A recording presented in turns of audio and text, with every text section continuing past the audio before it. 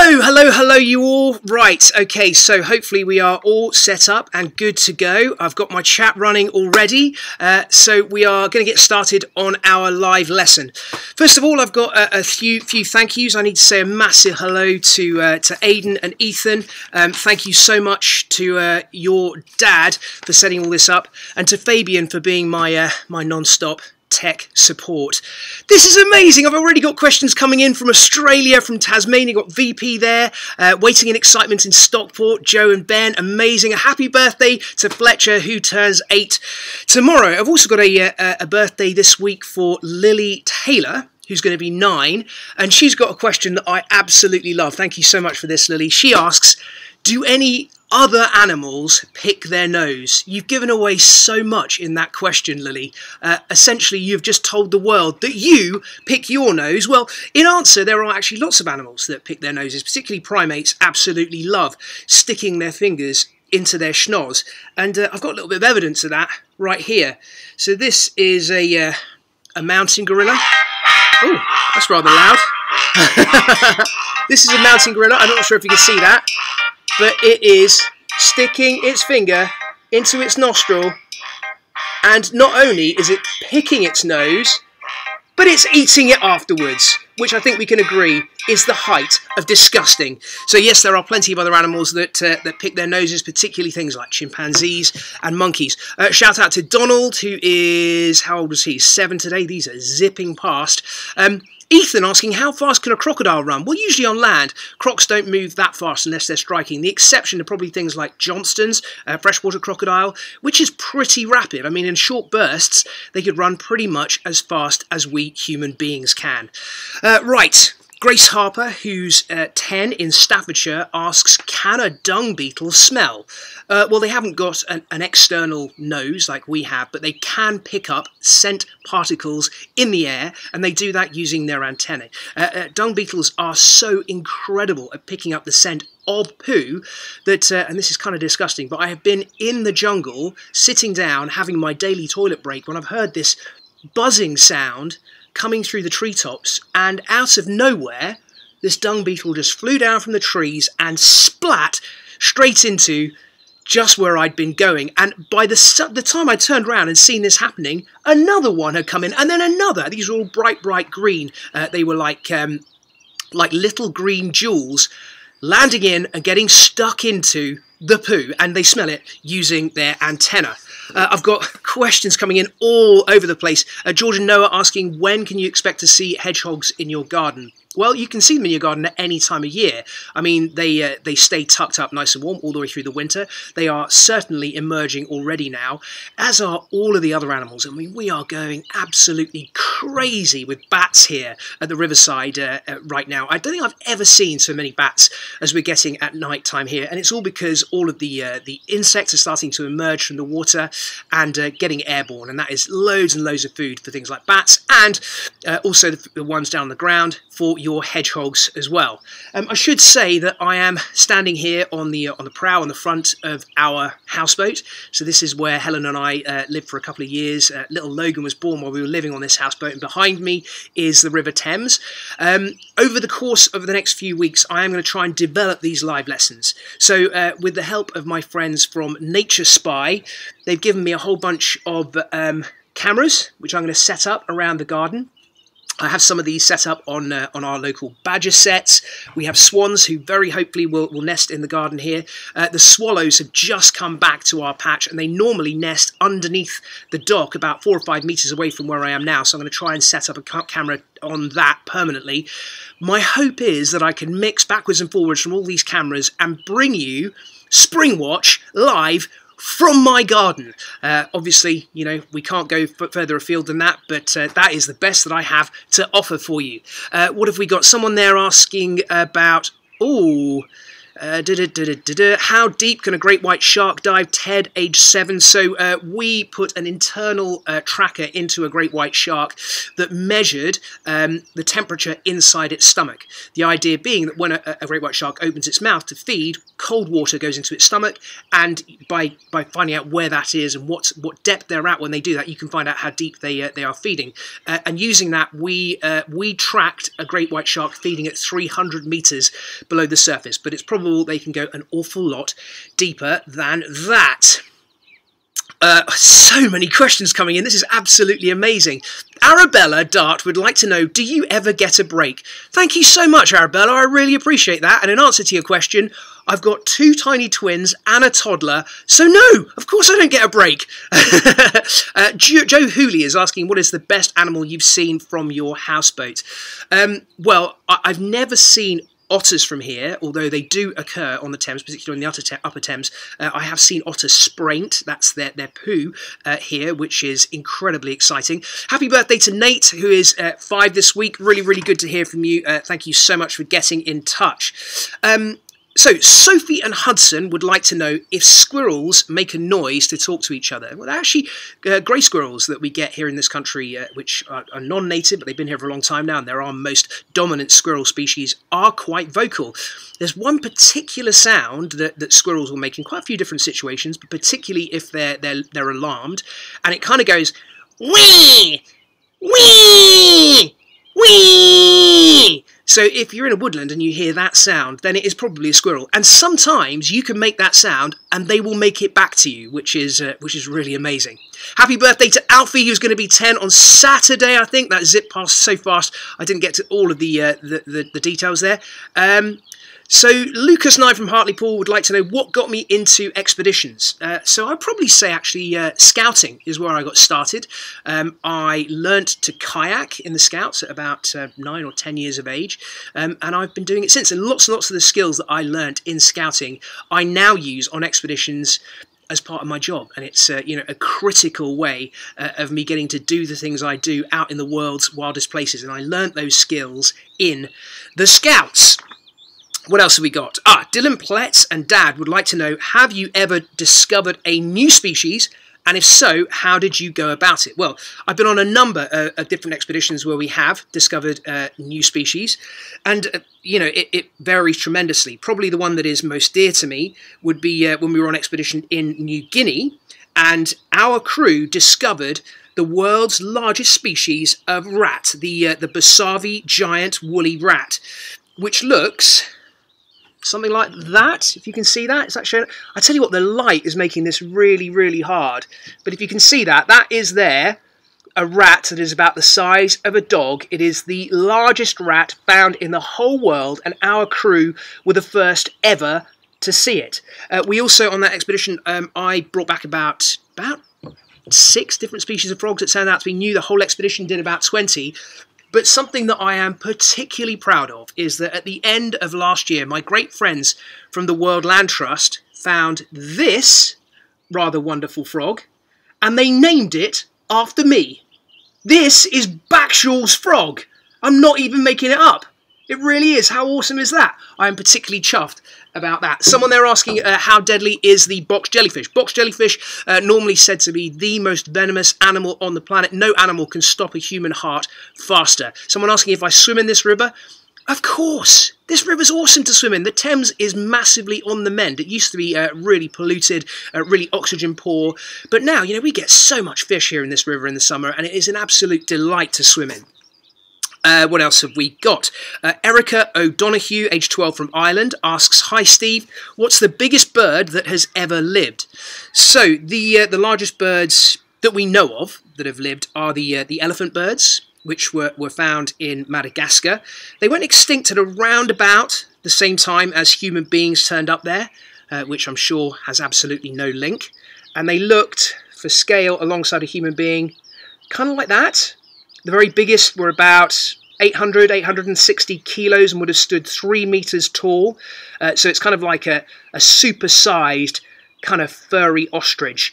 In terms of flying birds, uh, the, the biggest, I think, was Pelagornis that we know of. Uh, their wingspan would have been over six meters. Bear in mind that a wandering albatross, which is the bird that has the biggest wingspan around today, has a wingspan of just over four meters, and you can imagine how big those must have been. Again, uh, an animal that is, has uh, gone extinct. Uh, what else have we got?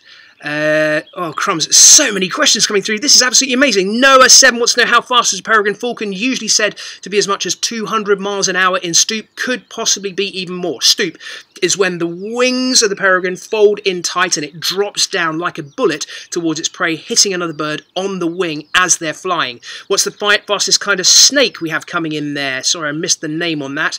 Um, it's usually said to be the black mamba, but I have to say that from personal experience, uh, some of the uh, the whip snakes move far, far faster than a black mamba ever uh, could. And also, intriguingly, we were releasing a king cobra, a big king cobra, in in Bali at the end of last year, and uh, we took this king cobra out of the bag in a, a nice wild habitat where it was going to go and live. And it went off like a rocket. I mean, I, I would usually say that no snake travels faster than about 10, 12 miles an hour. This was going more like 20. Now, uh, most herpetologists, that is snake experts out there, are going to think that I'm completely mad, but honestly, I saw it with my own eyes. We got it on camera. It was lightning. Uh, eight. What's the what is the longest snake? The biggest uh, biggest snake is the anaconda, the green anaconda from uh, South America. The longest is the reticulated python from Asia. Betsy, who's five, asks, "How did we get the sea?" Um, that is a massive question, Betsy. I'm very, very glad that you've asked it. Uh, how can I do this in, in quick time? Okay, so uh, the world is billions of years old, and for most of its time, it hasn't looked anything like this. Um, to begin with, to begin with, it was mostly very, very hot, molten rock, and over millions of years, water vapor emerged from that uh, molten rock and then was trapped in by our atmosphere uh, and started to form large bodies of water. There is another really exciting hypothesis which says that comets, which are essentially flying bodies of ice, would also have collided with the Earth and melted, and that would have helped to form the, uh, the huge bodies of water that we now call our seas and our oceans. Um, what have we got? Layla, how, what fish live in the Thames? Uh, we see perch, we see uh, a lot of mirror carp, very obvious, um, and uh, lots and lots of minnows as well. Um, Charlotte Parker, who's 11, asks, why do male seahorses have children and is this common throughout the animal kingdom? Well, it's it's not common at all. No. So uh, the only animals that we know of that do it are things like the um, the pipefish, the sea dragons, the seahorses, um, and it's it's not a true pregnancy as such in the same way that we have uh, have babies. So what happens is the male, the female transfers her egg to the male. He keeps them in a brood pouch and then uh, delivers them in spectacular fashion. Let's see if I can show you some video of that happening. Um, and uh, what he does is he sprays out the teeny tiny seahorses, which are well, they, they kind of like look like miniature versions of an adult seahorse. Is that showing up on the screen? Sorry about this. This is this is really tricky. I am hoping to uh, solve all of these problems, by the way, uh, over the next coming weeks. Uh, you can barely see that really. Take it from me, what you're seeing is lots and lots of miniature seahorses being sprayed out from the male's brood, brood pouch. Um, and it's an incredible thing to see. Not many animals do it, no, uh, but the male is the one that does the, uh, heavy lifting amongst seahorses. Uh, Hells, have you got anything for me up there? I've got a load of hellos for you. Oh, we've got uh, a load of hellos. Okay, I'm going to zip through some. So, uh, Tian from Oz, hi, how are you doing? Layla, Ollie, Harry, Daniel, it's his seventh birthday. Happy birthday. Ryan, his eighth birthday. Karen uh, in Dubai. Stephen, Meggie, Carter from North Wales. Evelyn, Lewin, and Hattie. Bailey, Carwin, who is also six today. Jensen, eighth birthday. Jameson, their birthday. And Maisie and Madison. I'm going to keep on doing as many of these shout outs as I possibly can. Ellie James, age, age seven, would like to, to know if I've ever met a snapping turtle. Um, loads. In fact, one of the best uh, Deadly 60s we ever did was uh, in Louisiana. We had um, a morning, one morning, to find uh, an alligator snapping turtle. And we went out checking traps with local biologists. I think we checked 10 traps and there was nothing in any of them. And then the last trap, the very, very last trap, had two giant alligator snapping turtles, the biggest they'd ever seen. Um, we could barely get them out of the water. They were extraordinary. Uh, this is known as being the uh, the largest freshwater kind of turtle, and they have a bite which is so powerful it's said to be able to go through a broomstick handle, which just completely blows my mind. Uh, we have um, Jolien Glover, age 10, wants to know how many times can a starfish lose its limbs? It can lose its limbs uh, for as many times as it has limbs, and it will grow them back um, over and over again as well. And this is probably due to something called pluripotent stem cells. Okay, we're going to go now to a um, to a sound quiz. So I'm going back to uh, to native British birds. So um, sorry to all my chums over there in Australia and everywhere else around the world, but I wanted to, to hit you with a few of the sounds that you might be hearing right now in spring. Uh, so let's start off with uh, a couple of sounds which signify that spring is coming around. So one of those would be this. Choop, choop, choop, choop, choop, choop, choop. So that's one of the first sounds that you hear that lets you know that spring is around. And it's a bird that says its own name. And because of the delay, I'm going to come back to these at the end. But we'll move on to another bird, which is very much a sound of spring. So remember that one. Another bird also that says its own name. And then this one. This is um, a wonderful, wonderful sound. We're hearing this a lot in the fields behind my house at the moment. It is a bird that sings constantly while it's on the wing, constantly while it's in flight. And you see them flying up into the air, singing almost constantly, and then starting to drop or parachute down while making this, this wonderful sound. So we have the two-note sound, which is that one, then we have the obvious one. I'll be very disappointed if no one gets that one. And then we have this incredible tumbling, dribbling sound which just seems to go on forever and again is one of the great sounds that lets you know that spring is on its way. Let's see if we're starting to get any um, any answers to these? Holy moly, there are thousands and thousands of questions coming in. This is incredible. Mark Jones says chiff chaff. Yes, spot on. The bird that is saying chiff chaff, chiff chaff, chiff chaff is a chiff chaff. Yes. Uh, we have lots and lots of people saying absolutely cuckoo. I mean, come on, that one's fairly obvious. But do we have the uh, the last bird, the bird that sings constantly. Not yet. There's an interesting one coming here. Do fish sleep? And if they do, how? Thanks from Jack, age seven. Um, in very, very different ways to how we do as human beings. Uh, but yes, absolutely. They do have periods of time where they shut off the majority of their brain. And most of the time, if you think about reef fish, what they'll do is they'll take themselves into a crack or a crevice, make themselves uh, innocuous to predators. And that might not necessarily be at night. In fact, you have different fish that are out during the daytime that are at night.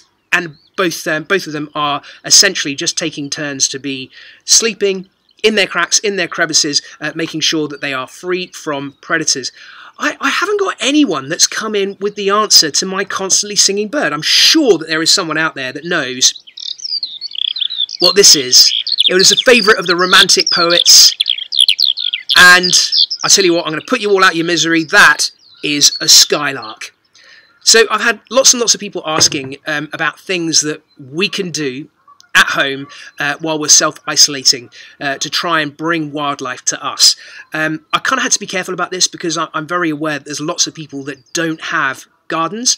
And the last thing I want to do is to be spending all of this talking about what you can do in your garden if you haven't got a garden. But you know 87% of people or households here in the UK do have a garden. So I'm just going to plunge on with this one thing which is how to make a small wildlife pond um, and I, am going to do it with things that I would expect that you might be able to find around the house anyway. So let's start with um, an old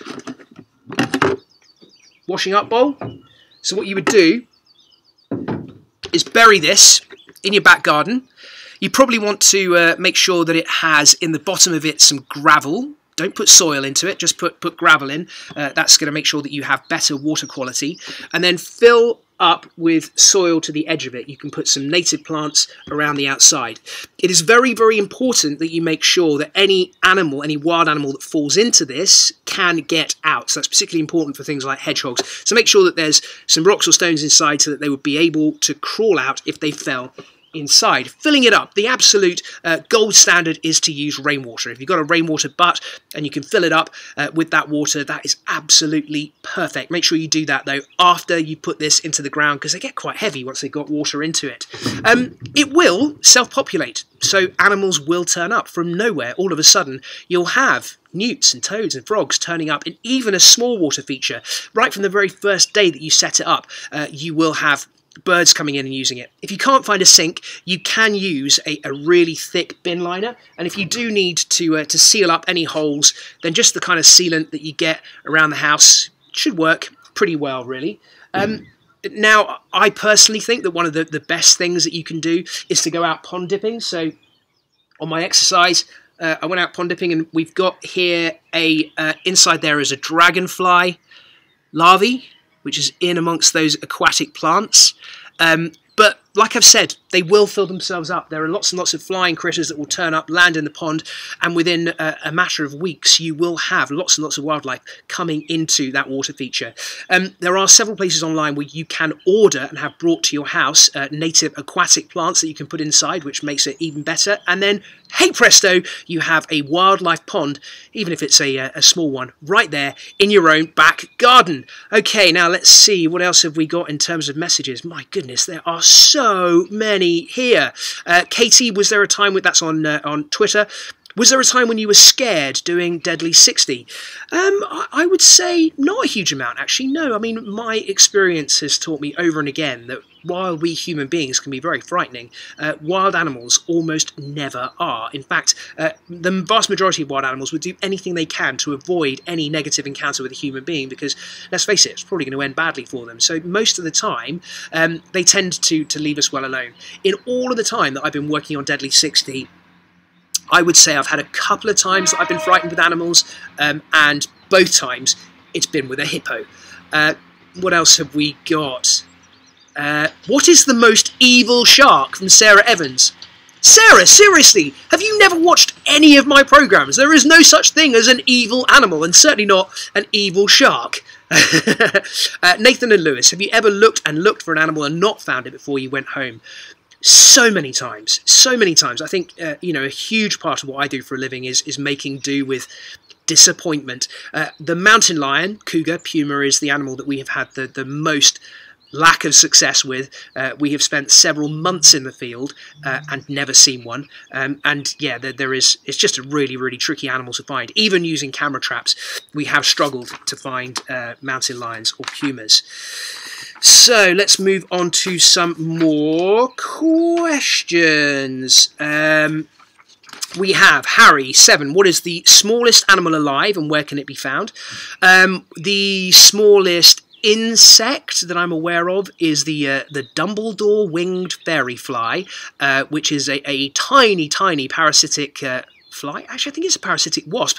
It's teeny tiny. It's so small that you can barely see it with the naked eye, but it has all the same features that you would expect to find on any other flying insect, even the, the very, very biggest of them. Um, Thomas asks, how many species of animals are there living today? Simple answer is we're not sure, but it's it's many, many millions. Uh, it's believed that there are at least 800,000 species of beetle. Nothing else other than beetle, 800,000 species. There could be as many as 20 million different species on the planet today, but we are finding new ones all the time. Uh, Hugo 8, what's, what's the heaviest animal you've picked up? Oh, crumbs, I don't know about that. Um, I suppose we've transported um, large turtles before, big um, big leatherback turtles, which have weighed about three quarters of a ton. So yeah, they, they would probably qualify as the biggest um, that uh, that I have picked up. Um, I'm going to move on to uh, an animal here because I've had a question in about what my favourite kind of camouflage is, and I'm going to show you it in person.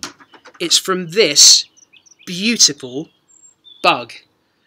So this is Hymenopus coronatus, the orchid mantis, and this is a youngster, a sub-adult.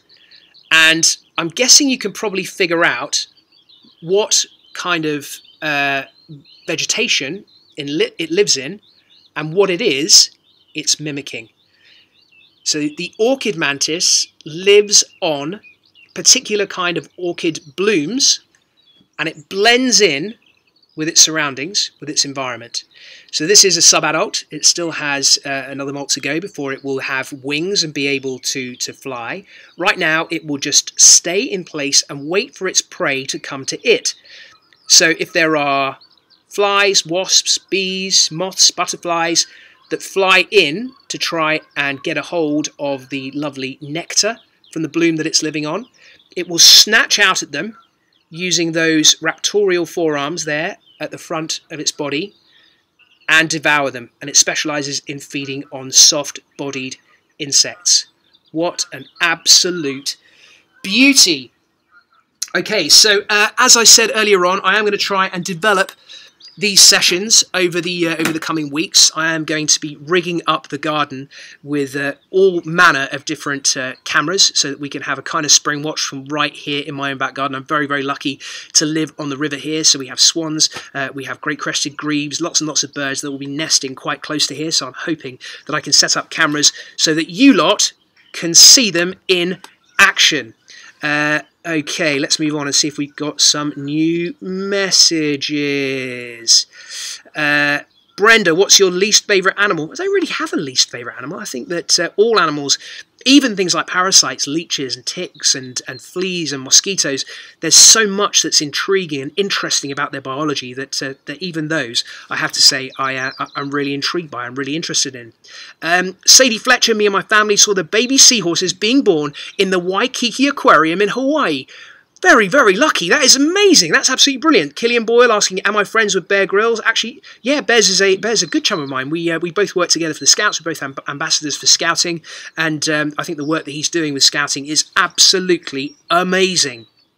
Um, I have a few questions coming in about how um, animals that are uh, invertebrates or reptiles manage to grow by shedding their skin, and I can show you that with this rather amazing little find. So this is not a tarantula, it is a tarantula's exoskeleton. It's shed skin. So invertebrates have a hard exoskeleton. Their skeleton is on the outside of their body and they grow by cracking out. You can see the abdomen there is cracked down the middle and emerging soft-bodied from inside and every time they do that, they will grow a little bit and they leave behind what looks like a full spider. If you see one of these hanging up around your house and you think that it's a, uh, a dead house spider, it's probably not. It's probably just the molt. And actually, this is so well preserved that I can even possibly show you the fangs. Can I get that close enough to the camera that you can see those fangs? Yeah, no, not so much. Okay, so we are coming up to the half hour. That is it for my live lesson. Uh, but I just wanted to try one little thing. As I've said, oh, I've got a few uh, few hellos coming in. Okay, so we have a hello to uh, Lila and Rex from Singapore. Really, really good to hear from you guys. Harry and Phoebe, Blythe from Milton Keynes, Amanda, happy birthday to you. Scarlett and Laurelie from Scotland, Evie, Helen and her llamas. Hello to Helen and your llamas. Uh, Josh from Bendigo in Oz. Josh, I'm really hoping we're going to be out doing our live tour back in Bendigo uh, again in January. Uh, Joseph, who is six today, Jack and Tom. Uh, my, my nephews, Jack and Tom, I haven't said hello to them yet. Hello, you both. Hello, Captain Jack and Tom Alom, to Tyler in Penzance. Um, and Bailey says, say hi to Freddie and Daddy at home. Uh, Bailey is in hospital right now. Bailey, I'm really, really sad to hear that. Um, so there's one last thing, thing I need your help with to try. As I said, I'm trying out lots and lots of tech to try and make these live lessons better. One of those is these these special cameras that I have rigged up, um, and I'm also trying to to get my own broadcasting studio working here. But I'm doing this on my own, so uh, it's quite complicated. So I need your help. I'm going to try this out, and I need you all to tell me on the messaging if it works. So I'm going to mix now to some images from my Badger cam, and I'm going to carry on talking and I need you to tell me if you're seeing it and if you're hearing it. So you might have heard there the little sounds from my two badgers. This is in my sett, my local sett around the corner, um, scurrying back into the sett when it started raining. Uh, and there was this incredible little contact call, not what you'd really expect from a badger. Um, and it's also quite interesting that they were out feeding and a little bit of rain came down and they scampered straight back home into the sett. I mean, seriously, you would have thought badgers would be tougher than that. Um, so that's the software that I'm going to be using. Hopefully that has worked. So I'm going to check it all out and make sure it works. And if it does, then we shouldn't have to be worrying with uh, any more of this nonsense over coming weeks. So Tell all your friends, live lessons with Steve Backshall, 9.30 on Wednesdays. Get your questions in, and I'll do my very best to answer as many of them as I can from all around the world.